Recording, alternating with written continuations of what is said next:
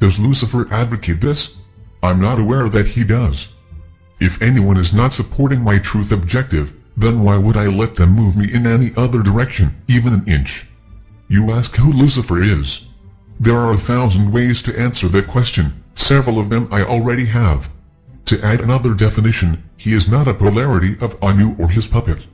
At a fundamental level he lives in equality and oneness, the same as we. Is he awakened?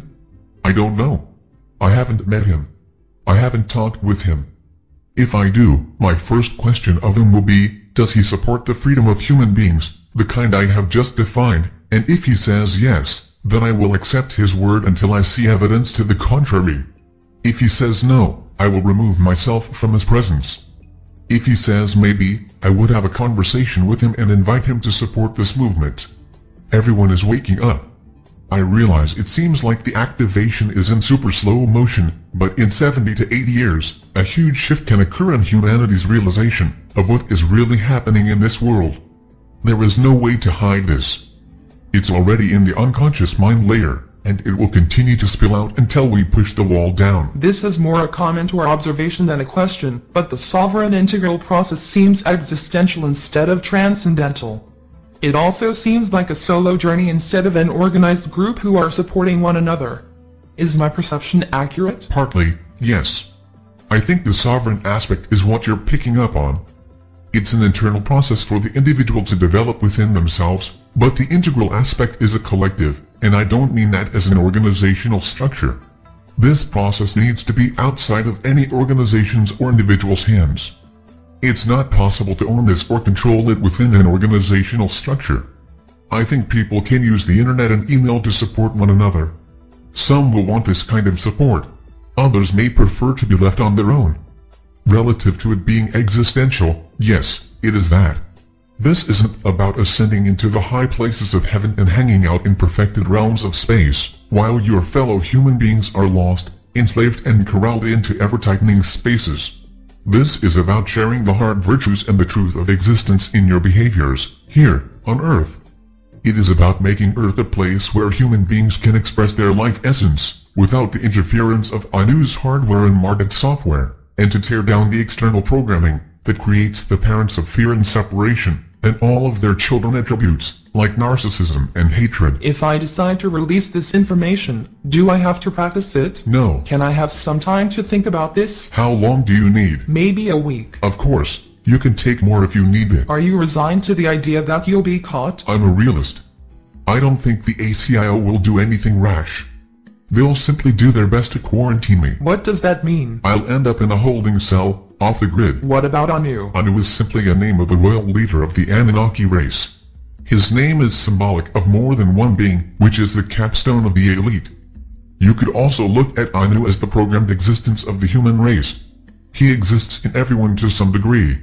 Anu's presentation of himself is that he's omniscient and omnipresent, and this is true in a certain way, so I have to deal with that reality. Everyone who wakes up and practices this process will meet this resistance in some form or other. But if people hear that they will have to deal with Anu, won't they run from this?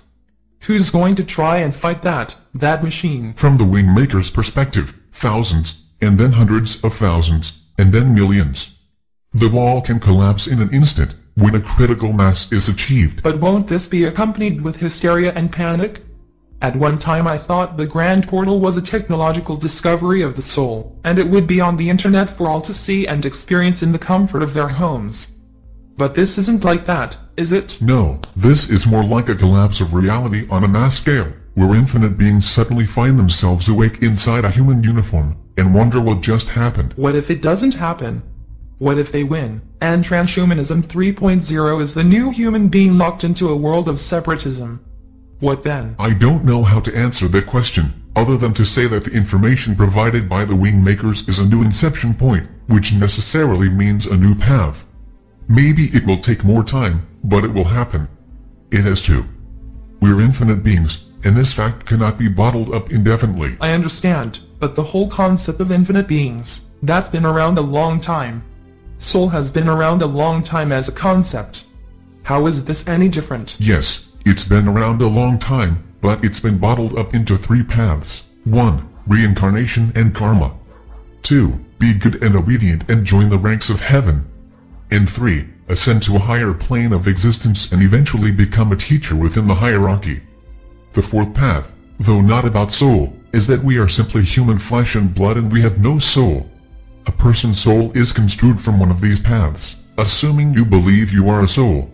Each of these paths, as I have already says, is within the hologram of deception. They do not lead outside, past the wall, and they certainly do not make the wall less stable. To be self-realized, as an infinite being, within a human body on Earth, decoupled from the controlling human 2.0 interface, is the fifth way. We've been living in a game show that has four doors, where an announcer keeps repeating the instruction, choose one of the four doors, while completely ignoring that there is a fifth door. This new inception point inserts the fifth door option.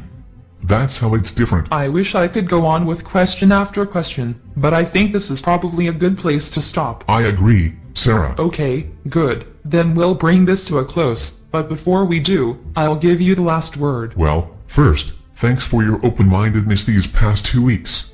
Your questions were good guides, and for all your modesty, you grasped this information with great naturalness, which gave me permission to open up. You've served well those who will hear this, so on their behalf, thank you. I feel that I've given everything I was asked to provide. I realize I fumbled around at the start of this interview. I wasn't sure how to bring this out. I also know that some will want more information, but the critical material is here, in this interview. I'm sure there are more details and nuances I could have provided, but then, no matter how much detail I disclose, it would never be enough for some people. This is all about action and behavior, not reading or soaking up information from another person. The glimpse I provided is a good start, and that's all that's really needed for an inception point. I realize this may seem like a fantastical journey of fictional characters and unlikely events, not to be taken too seriously, but in my view, this disclosure of the Wingmakers is their most important. Thank you, Dr. Neruda. What is within us was present before the universe was created. Our inner, pre-quantum core existed previous to space-time, before any extra-dimensional race enslaved us. We are not weak or defenseless. We are not mere human beings with 80-year lifespans. We are infinite, and we are all that is needed to transform reality so that each of us serves truth, because we see truth. Earth is not a playground or a schoolroom, any more than we are gullible children. There is no new age or end time. There is only the infinite platform upon which we all belong, where we rise up as sovereign integrals upon Earth. James Mahu